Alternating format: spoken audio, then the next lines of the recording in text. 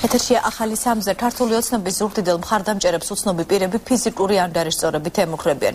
ახლა ჯოჯოასთან ორი მისთვის უცნობი მამაკაცი მაშინ მივიდა, როცა ეს კოალიციის მაისურით ქუჩაში იდრა. მაისურის მეორედ ჩაცმის შემთხვევაში ჯოჯოას უცნობები ფეხის მომწროვით დაემუქრნენ.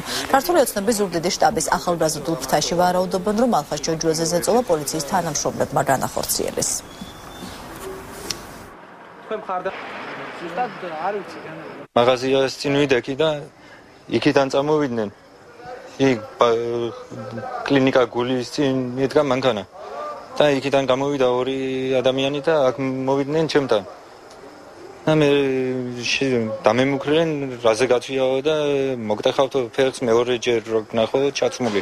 ეს ადამიანები იყვნენ სავარაუდოდ პოლიციის თანამშრომლები, რომლებიც ნებისმიერ ნებას ასრულებენ დაუფიქრებლად. მე შეურაცხყოფას არ ვაყენებ არც ერთს, მაგრამ ის ადამიანი არის გარკვეული ჯგუფი, რომლებიც ანგარის არ უწევენ თავიანთ საზოგადოებრივ პასუხისმგებლობას